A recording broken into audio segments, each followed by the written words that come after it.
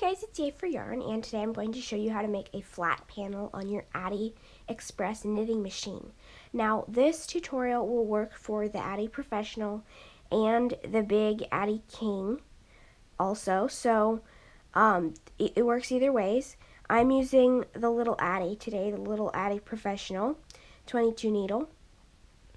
And a flat panel is a piece of knitting that is not tubular. It's a it's a flat piece.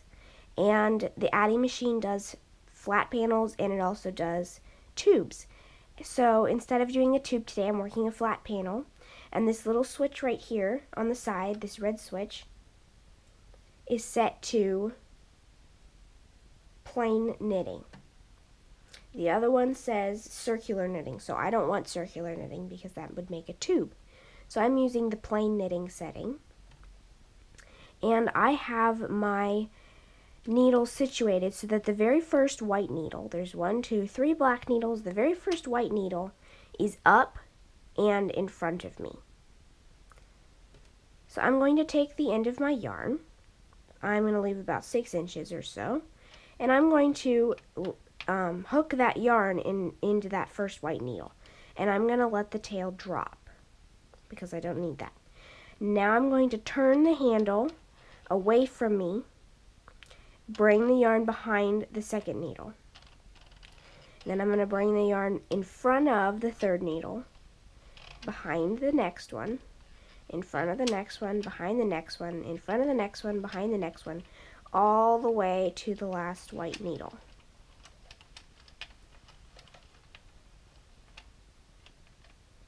And you'll notice that the last white needle hooks the yarn.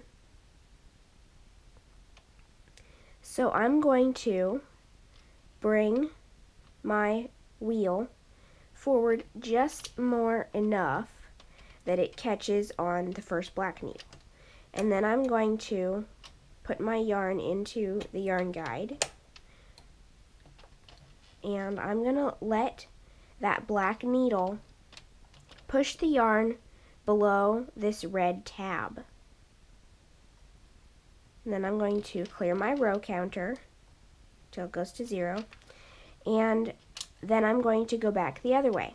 And you want to make sure that this very first white stitch, you want to make sure that the previous yarn is in front of it, flat up against this red thing right here, and that your the yarn that's going back the other way is looped around this red tab before you make the stitch and now I'm turning the, the wheel in a counterclockwise direction, which would be towards me.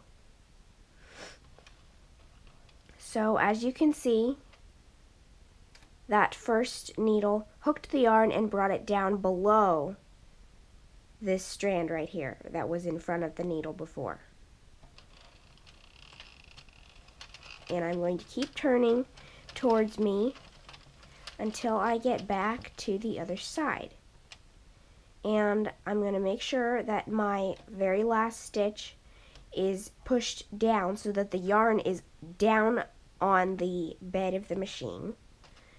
I'm going to let the last white needle hook that yarn and the first black needle, and I'm going to let that black needle bring the yarn down below the red tab and then I'm going to turn and go back the other way. I want to make sure that that yarn is being hooked by the red tab and I'm going to bring it down. Now you also want to give a little bit of a tug on the yarn when you do that very first stitch because if you don't then you'll get a very messy looking edge. So I'm going to keep going back this way again. I'm turning the needle away from me.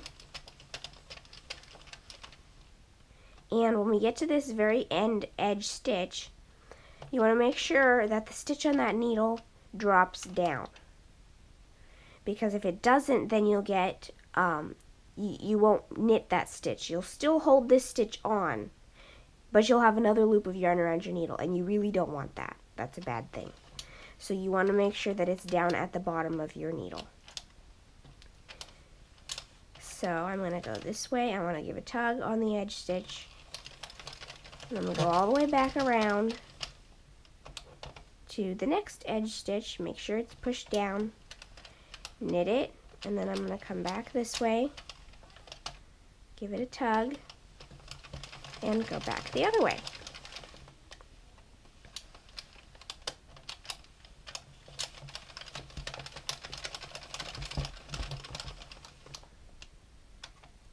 This one's stuck, so you gotta push it down with your finger and make sure that it comes, the yarn comes below the red tab before you turn. Give it a tug. And that one's stuck too. This is a very simple process. You just have to know the little tricks that make it look nice.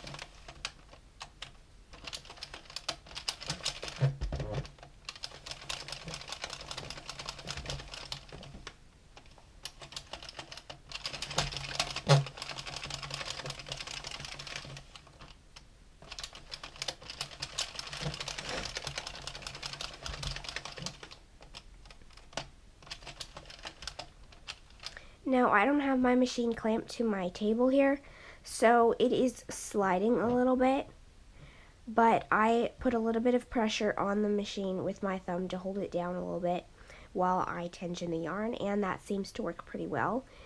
But usually you would want to clamp it to the table, but I chose not to because then it's hard, a lot harder to film for me if it's on the edge of the table. But that is how that you make a flat panel on your Addi machine. And when you are finished and it's as long as you want it to be, um, you want to remember that when you measure it, you cannot measure like this and get an exact accurate um, measurement because it's stretched so much to get around these needles that it shrinks lengthwise. So you can really only measure it accurately when it's off the machine. But what I like to do is I like to take this whole piece and when I'm finished, remove my yarn. I want to, like, I would make this a little bit longer than what I need my finished piece to be. At least the length of my finished piece plus extra, just to be sure. And then I'm going to knit across the row with no yarn. And then I'm going to go back the other way and do it again. And as you can see, all the stitches pop off the needle. And when you stretch this lengthwise, it gets longer because it was stretched so much widthwise that it was shrinking lengthwise. So then I would measure this and however the length however long the length was, I would unravel the last couple rows or however many I needed to until I had the right length. And then you take your little red yarn needle, cut your yarn and thread it through all the stitches to make your bind off edge and that is how I generally make flat panels the size that I want them to be.